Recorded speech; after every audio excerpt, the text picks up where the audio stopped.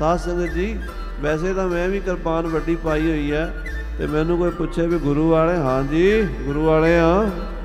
ਸਾਡਾ ਕੌਣ ਰੀਸ ਕਰਦਾ? ਦੂਜੇ ਨੂੰ ਮੋਢਾ ਮਾਰ ਕੇ ਲੰਘਦੇ ਆ ਅਸੀਂ।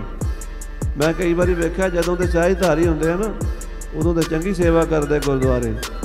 ਜਦੋਂ ਦਾੜਾ ਕੇਸ ਰੱਖ ਲੈਂਦੇ ਆ, ਫਿਰ ਕਿਸੇ ਦੀ ਪਰਵਾਹ ਹੀ ਨਹੀਂ ਕਰਦੇ। ਕਹਿੰਦੇ, ਪਰੇ ਹੋ, ਮੈਂ ਹੁਣ ਗੁਰੂ ਵਾਲਾ। ਪਰ ਖਾਲਸਾ ਜੀ, ਉਹ ਗੱਲ ਜੇ ਦੂਰ ਹੈ। ਆਖੋ ਸ੍ਰੀ ਬਾਈ ਗੁੱਸਾ ਨਾ ਕਰਿਆ ਜੇ ਮੇਰੀ ਗੱਲ ਦਾ, ਉਹ ਘਰ ਅਜੇ ਦੂਰ ਹੈ।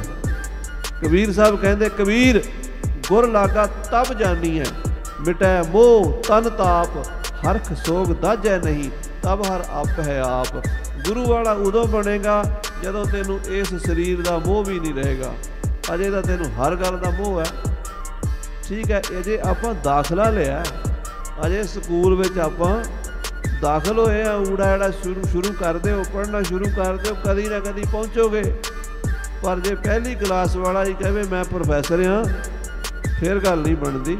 ਅਜੇ ਆਪਾਂ ਸਾਰੇ, ਅਜੋ ਸੋ ਨਾਮ ਸਮੁੰਦਰ ਮੈਂ, ਕਿਆ ਜਾਣੋ ਕਿਆ ਹੋਏ, ਤਰਲਾ ਮਿੰਤੀ ਹੈ ਪਾਤਸ਼ਾਹ ਦੇ ਚਰਨਾਂ 'ਚ।